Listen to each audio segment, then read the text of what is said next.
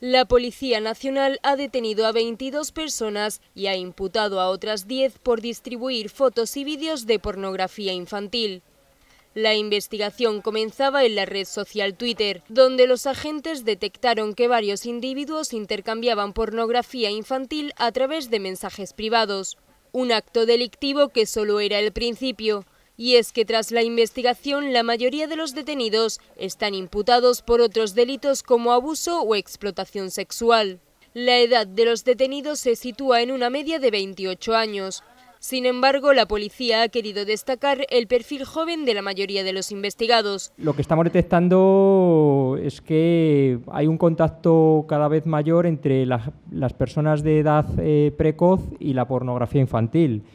Esto es un dato, un dato evidente que estamos detectando en nuestras investigaciones. No sorprende y más teniendo en cuenta, como le, le comenta usted, el hecho de que sea Twitter el medio que ha iniciado la investigación. Las indagaciones condujeron hasta 17 provincias españolas. Allí los agentes hallaron miles de vídeos y fotos relativas a víctimas de abusos sexuales.